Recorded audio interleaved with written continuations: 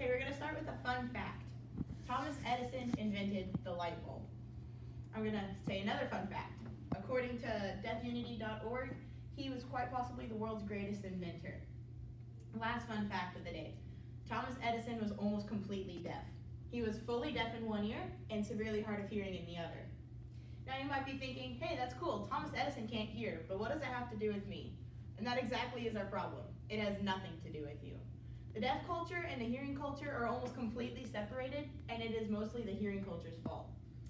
I know the problems that deaf people face, not because I am deaf, but because I'm studying to become a sign language interpreter, so I spend time with deaf people every single week, and they tell me the problems they face.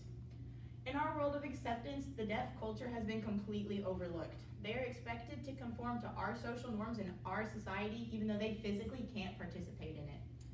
I'm going to tell you two ways you can help fix this problem, but first we need to know a little bit more about what we're fixing, which brings me to my first point, the historical oppression of the deaf community. According to deafhistory.eu, Quintus Pedius was the first deaf man recorded in history by name in about 5 BC. Now, he was not the first deaf man in history, by no means. He was the first one who wasn't immediately put to death or exiled for his disability. Back then, the Greeks were in charge, and they believed that it was better for someone to be dead than for them to be deaf, living and a burden to society. Now, execution isn't the problem that most deaf people face in America today. However, they still face a lot of challenges, and that brings me to my second point, which is the modern day challenges for the deaf community. There's two main problems. The first one is that people don't know sign language, and they lack the patience to learn another form of communication with them. I work at Chick-fil-A, and I was taking orders one day, and a man comes up, and I figure out he's deaf, so I start signing with him and speaking his language. And his face lit up. He thought it was the coolest thing ever. So he starts telling me his whole life story because he has no one to talk to.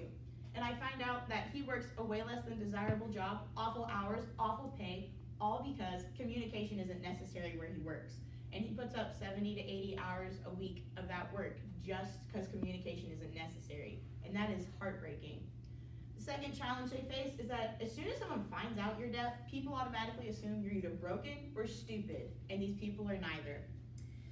My deaf, one of my professors who was deaf, went to the store one time to return a pair of pants, walks up to the counter, gestures at the lady, hey, I'm deaf, can I please have pen and paper? And she's like, okay. She grabs it, writes on the paper first, and it says, can you read and write? My professor is a really sassy guy he handles it coolly. He grabs a pen and he goes, no, I can't read and write. Can you help me now? and it's all the stories like that. I know so many more, but for the sake of time, I can't go into them all. Um, it's so many stories like that that just make me so angry inside that people are actually treated that way. And if those stories fill you with the same kind of anger, that's great, because that's the fuel that's going to lead us into our third point, which is what can we do to fix this problem? There's two ways we can fix it. First one is we can learn their culture.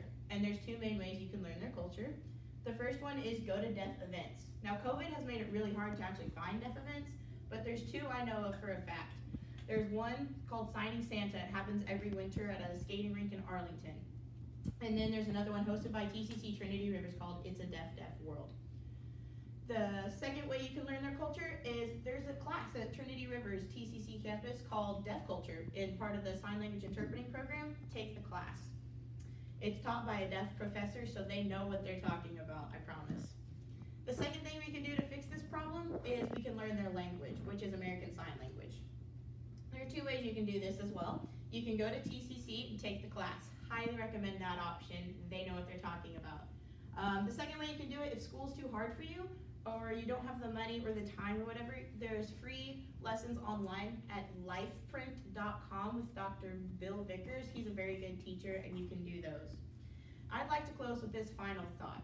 I just want you to think about how many people like Thomas Edison, like Beethoven, like Helen Keller, this world has never known just because people found out they were deaf and shunned them away from society. I want you to be motivated to see everyone for who they are, a person full of potential. Thank you.